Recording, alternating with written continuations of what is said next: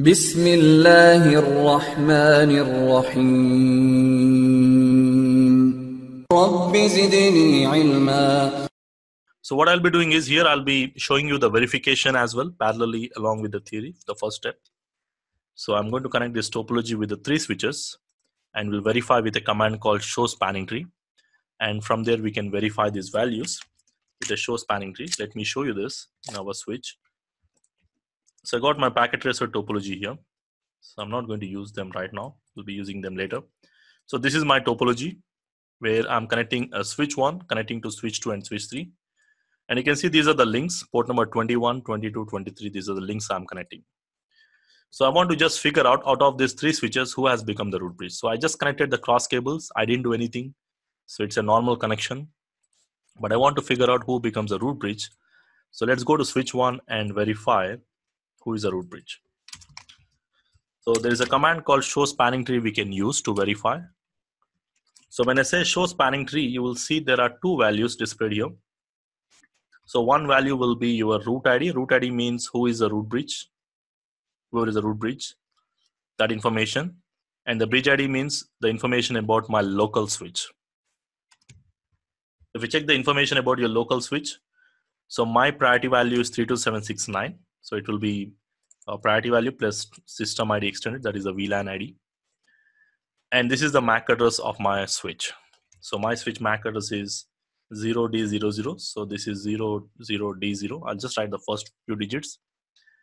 And the MAC address of the root is 0090. 0090 means it is either this switch or this switch, right? Because these two values are not same. If these two values are same, then you can say that this is my local switch is a root bridge, right? So these are not same. So the other value is 0, 0090. And if you observe here, this is not the root bridge. So this is not the root bridge. Other, other parameters we'll see later on. We're not getting into this status right now. So I'll go to switch 2, this switch, switch 2, and we'll verify here, show spanning tree. So when I verify the show spanning tree here, again, you can see the bridge ID. My bridge ID is 0090, 0090.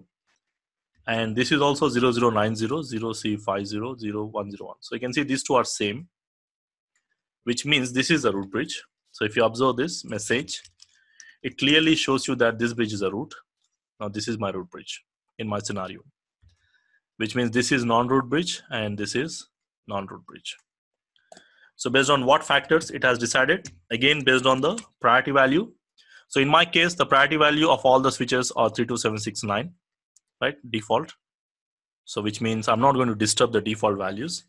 So the tiebreaker is based on the MAC address. So the MAC address of this which is 0090. Let me write down the MAC addresses. And on the switch one, what is the MAC address? You can also use show version command show version command to see the base ethernet MAC address here. So this is 00D0.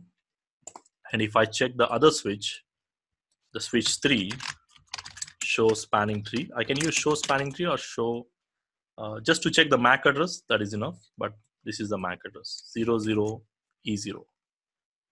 So if you compare the values, so the first two digits are same.